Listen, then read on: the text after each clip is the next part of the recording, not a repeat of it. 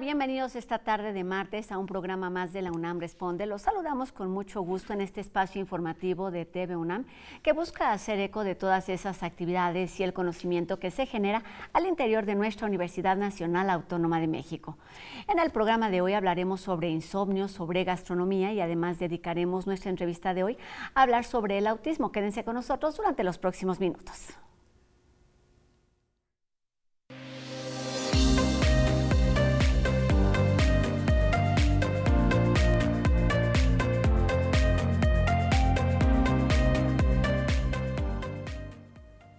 Cada 2 de abril se conmemora el Día Mundial de Concienciación sobre el Autismo para reconocer, difundir y sensibilizar a la población acerca de esta condición neuronal que presentan casi 400 mil niños en México. Se siguen estudiando las causas genéticas y bueno, se cree que afecta más a los niños que a las niñas y suele manifestarse en el comportamiento, el desarrollo y la comunicación. Y para hablar precisamente sobre este trastorno que puede ser visible desde edades muy tempranas o no, el día de hoy nos acompaña aquí en nuestras instalaciones de TV UNAM la doctora Ana Shisue Aoki Morante, quien es académica de la Facultad de Psicología de nuestra universidad y por supuesto especialista en este tema. ¿Cómo estás, doctora? Bienvenida. Gracias, mucho gusto por la invitación.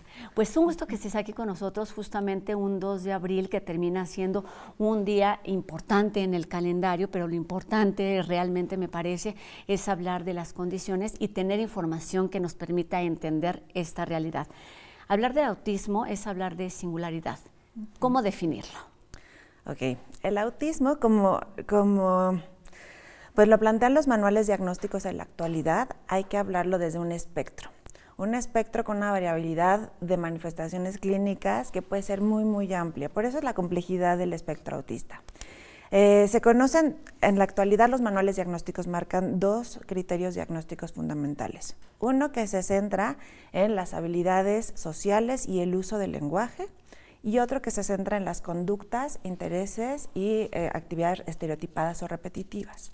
Entonces tenemos esos dos ejes de síntomas principales que se manifiestan y entonces podemos tener una variabilidad de síntomas desde una persona que carece de comunicación verbal y de interacciones propositivas con otra persona en el cual su comportamiento se limite a, no sé, realizar una serie de movimientos o a utilizar un objeto como un juguete de una forma distinta, por ejemplo, un cochecito en vez de estarlo jugando como un cochecito, girar las llantas del mismo cochecito, hasta personas que pueden tener en esta característica comunicativa ¿no? dificultades para entender el doble sentido o los chistes y que no pueden, por ejemplo, eh, cambiar de rutina en el día de, en el día a día, ¿no? Siempre tienen que seguir el mismo trayecto para llegar al trabajo o siempre comen la misma, el mismo tipo de elementos. Entonces, al hablar del espectro autista es una variabilidad de conductas muy amplias que según los manuales diagnósticos se rigen en esos dos puntos principales.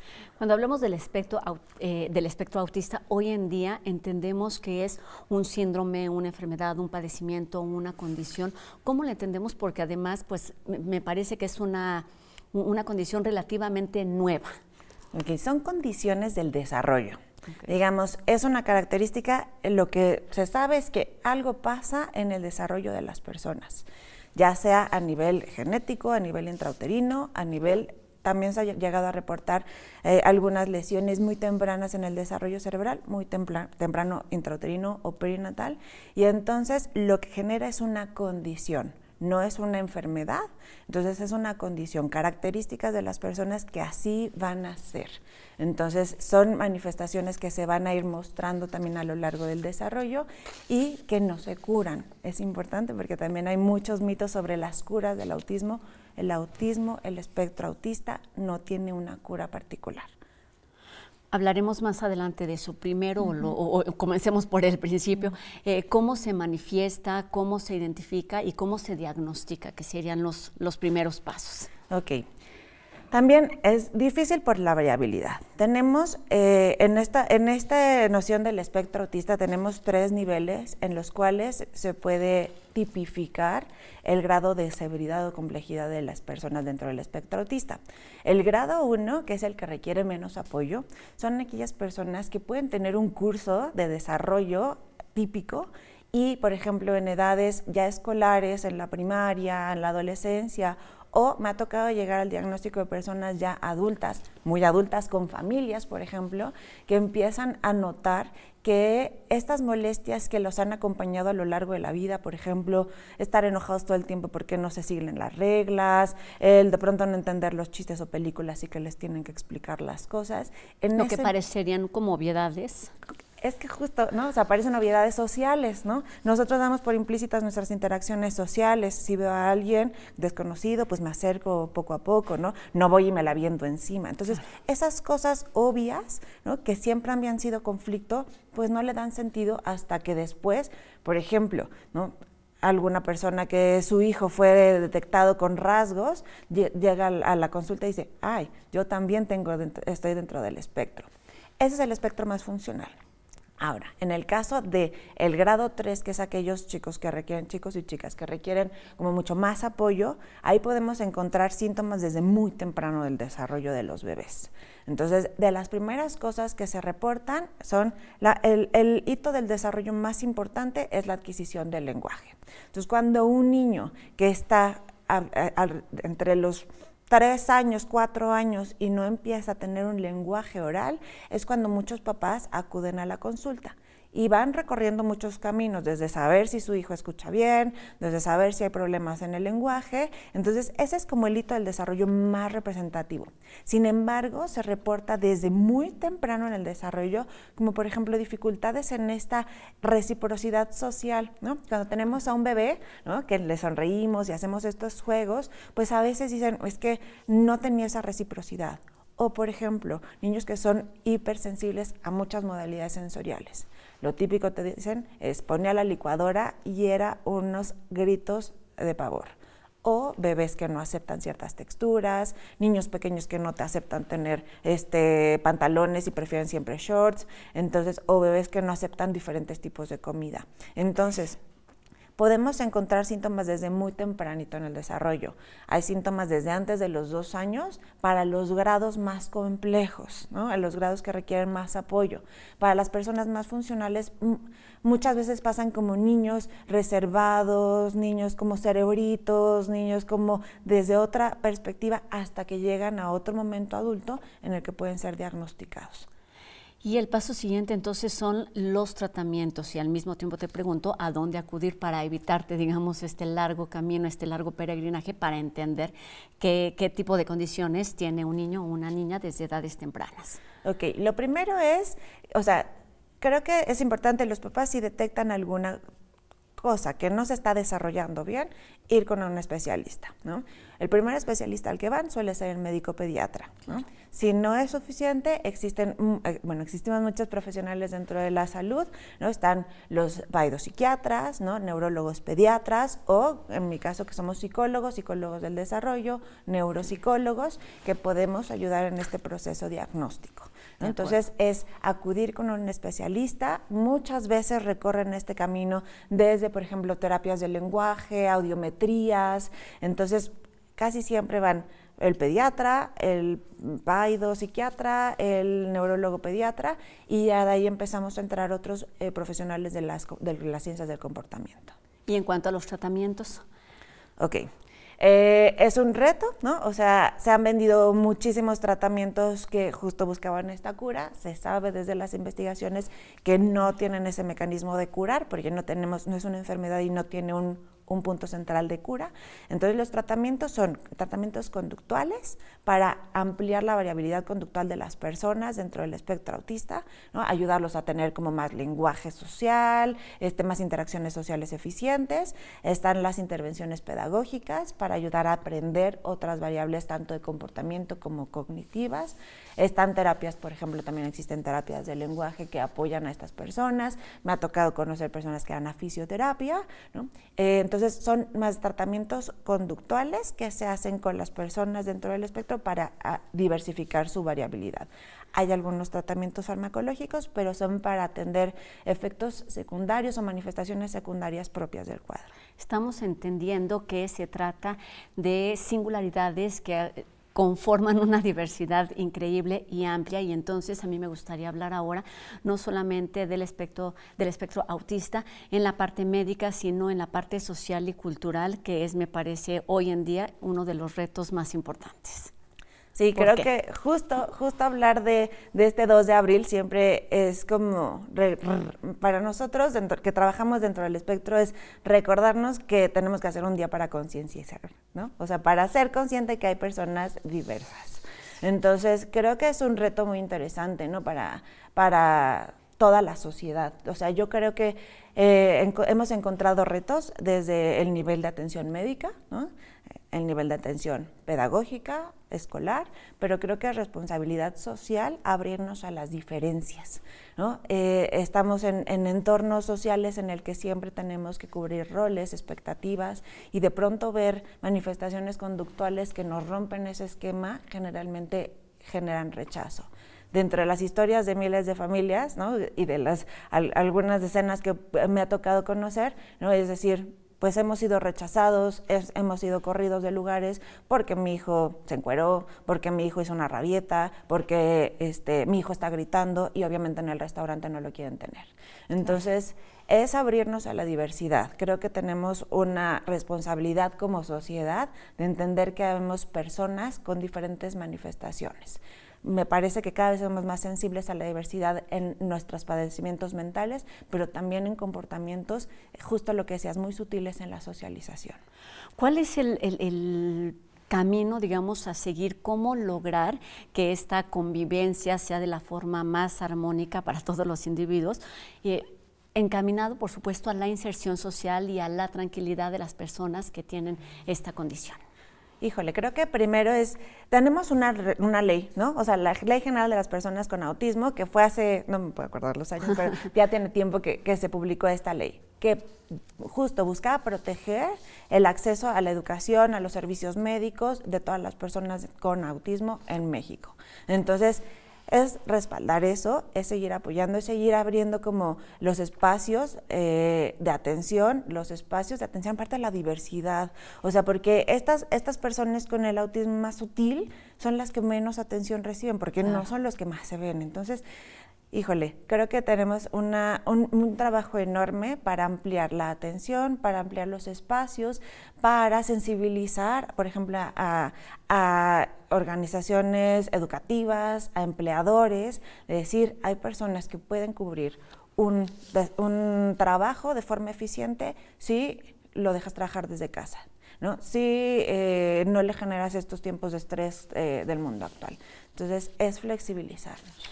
Justamente el lema de este Día Mundial de la Concienciación sobre el Autismo para el 2024 es puedo aprender, puedo trabajar.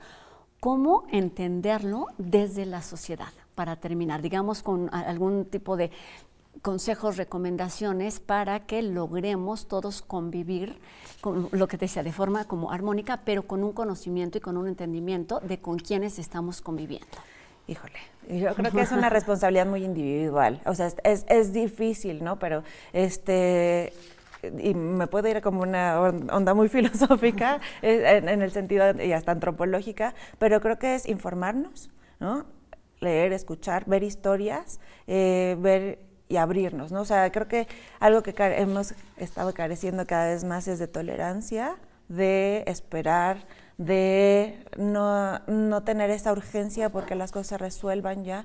Y yo creo que cuando nos enfrentamos a cualquier persona dentro del espectro autista o con alguna discapacidad, no, no, estamos como abiertos a esta forma diferente de interactuar, a esta forma que nos reta nuestros límites y que nos reta como a, a, esta pues a, justo a flexibilizarnos a que hay otras formas de vivir y de hacer las cosas creo que es una responsabilidad muy individual también. Y terminaría solamente preguntándote acerca de la calidad de vida de las personas en este espectro. ¿Cómo lo viven? ¿Cómo lo sienten? Uf, es que al ser un espectro es muy diverso, ¿no? Hay personas en las que de verdad puede ser un agobio no poder generar interacciones con otras personas. Hay personas que pues les frustra que no son como comprendidos eh, o que no son como entendidos y que se ven eh, segregados y rechazados. Y hay personas que pueden vivir funcionalmente sin ningún tema, con algunos apoyos para manejar estas cuestiones como de ansiedad o depresión que pueden salir de vez en cuando.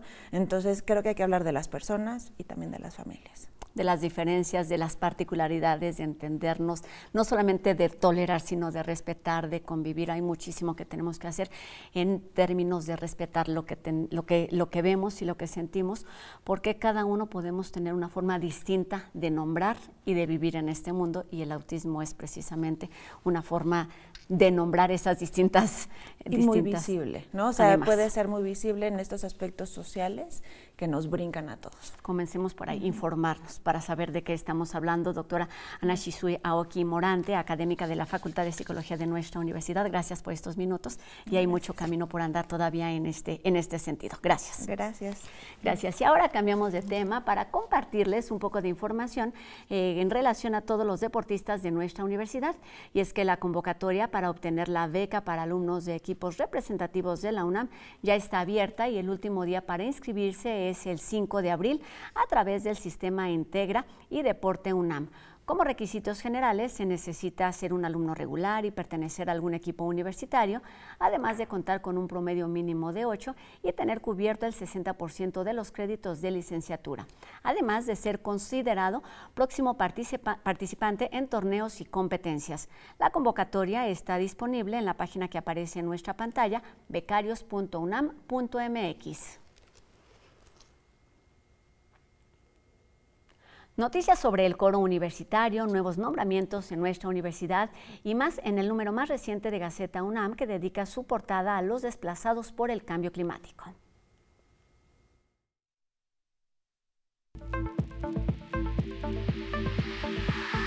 Las personas que han sido desplazadas por el cambio climático llegaron a 32 millones en el 2022. La ONU lo considera un tema urgente que afecta a todo el planeta, aunque se han identificado 15 países más vulnerables. El 2023 se ha convertido en el año más seco para México desde 1940, una realidad que es el resultado de siete siglos de malas decisiones. El Consejo Universitario aprobó por unanimidad la cuenta anual 2023, que ascendió a 55.951.4 millones de pesos. Nombró a una nueva integrante de la Junta de Gobierno y creó el Instituto de Geociencias durante la primera sesión del 2024.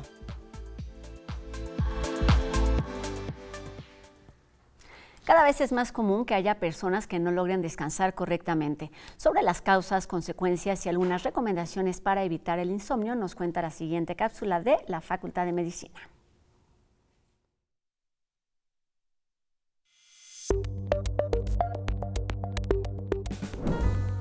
¿Cómo saber si padezco insomnio?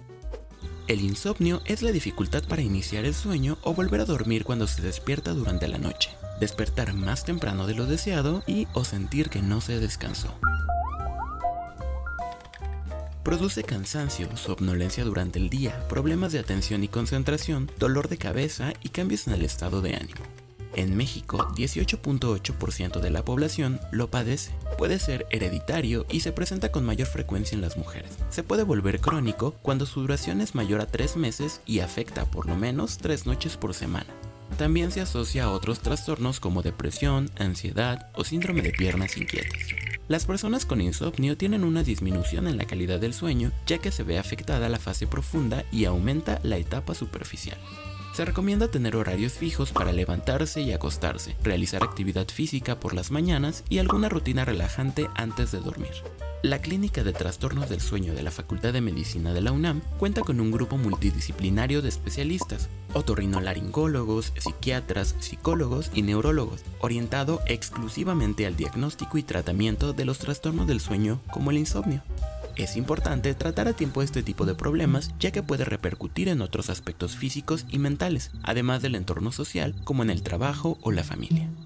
Para más información, visita la segunda edición de la revista digital Más Salud FacMed en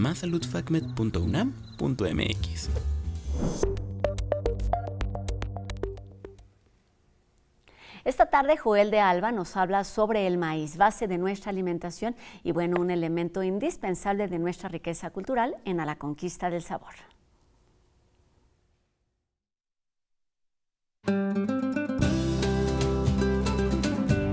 En la cosmovisión prehispánica de México, el maíz fue un elemento que dio identidad y constituyó la base de la alimentación mesoamericana.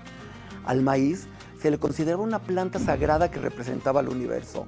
Formó parte vital del calendario agrícola, así como de varias de sus festividades relacionadas con la fertilidad y creatividad. También fue la materia prima que se utilizó para crear la raza humana. El gran libro sagrado de la cultura maya, Popol Vuh, nos relata que con el maíz fuimos formados, así que nuestro cuerpo y huesos están hechos de masa de maíz. A diferencia de la mayoría de las plantas que crecen de manera silvestre en la naturaleza, el maíz es una planta domesticada y altamente productiva que depende del cuidado del hombre. Fue creada a través de la selección y cultivos controlados de la planta del quiocintle. Es por esto que la creación del maíz por los antiguos mexicanos fue un acontecimiento tan importante que formó parte de sus ritos y creencias así como de su alimentación. De las 64 razas de maíces nativos que tenemos en nuestro país, existe una gama de colores que incluye tonalidades rojas, negras y azules, pero la mayor producción corresponde a maíces blancos y amarillos. Estos colores existen gracias al resultado de la cuidadosa selección de diversos grupos indígenas por más de 10.000 años. Actualmente, el mayor uso del maíz se da en la industria de la alimentación. Sin embargo, existen varias tecnologías para procesar sus granos y aprovecharlos ampliamente en otras industrias, dando como resultado una gran variedad de productos industriales, adquiriendo un sentido más utilitario. Es un ingrediente esencial en más de 4.000 productos. El maíz se utiliza en la producción de margarinas, mayonesas, salsas, productos dietéticos, cereales instantáneos y comida para bebés también para refrescos, jugos envasados y hasta bebidas embriagantes. En la industria cosmética se emplea para producir pasta de dientes, jabones y shampoos. Este grano puede ser transformado para la producción de biocombustibles como el etanol de maíz, empleado en la industria automotriz y que actualmente ha tomado una gran relevancia porque genera una menor contaminación ambiental siendo una alternativa viable para dejar de depender de energías fósiles como el gas y el petróleo. La harina de maíz se utiliza ampliamente en la elaboración de panes y galletas para personas que sufren de intolerancia al gluten que contiene la harina de trigo.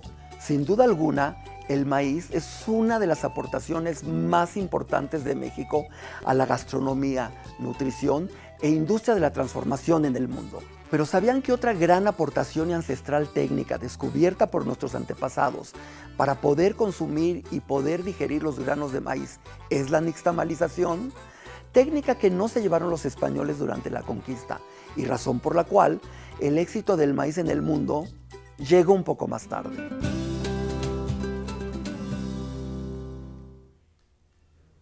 Este lunes 8 de abril seremos testigos de un eclipse solar total que será visto en el norte del continente americano y bueno, es necesario tomar en cuenta algunas recomendaciones para disfrutarlo de forma segura.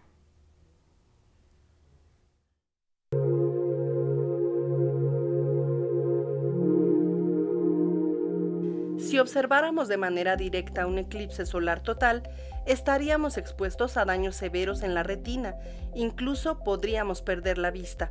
Para disfrutar de este fenómeno en su fase parcial, los especialistas del Instituto de Geofísica de la UNAM nos dicen que la forma segura de proteger nuestros ojos es usando filtros solares para cubrirnos de la luz visible hasta un 99.9% y un 100% de la luz ultravioleta e infrarroja. No se te ocurra usar lentes de sol comunes.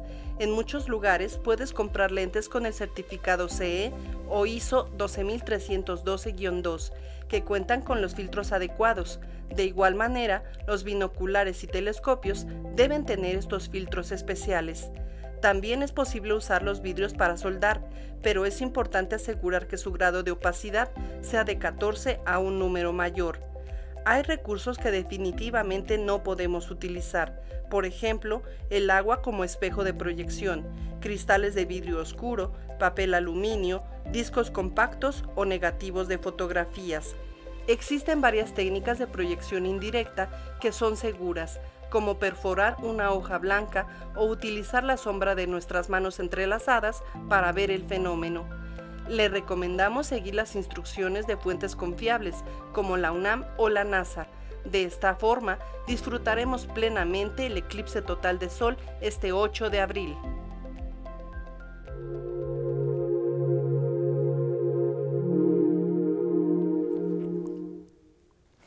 Terminamos nuestro programa de hoy agradeciendo a Ricardo Iturbe su participación en la interpretación de lengua de señas mexicana que nos permite llegar a un público más amplio e invitándolos a todos ustedes para que sintonicen nuestra señal aquí en TV UNAM el próximo domingo 7 de abril en punto de las 20 horas, fecha y día y hora, perdón, en la que sucederá el primero de los tres debates eh, que, presidenciales que marca el INE para el próximo proceso electoral que está viviendo nuestro país en donde los tres candidatos pues hablarán de temas relacionados con la salud, con la educación, pero también con la política. Acompáñenos el próximo domingo en punto de las 8 de la noche aquí en la señal de TV UNAM. Con esto terminamos nuestro programa de hoy. Los invitamos también a que se pongan en contacto con nosotros a través de nuestras redes sociales. Ustedes ya las conocen y están apareciendo en este momento en nuestra pantalla. Nos vemos aquí mañana a 2.30 de la tarde en, una nueva, en un nuevo programa de La UNAM Responde en TV UNAM. Mi nombre es Rosa Brizuela. Adiós.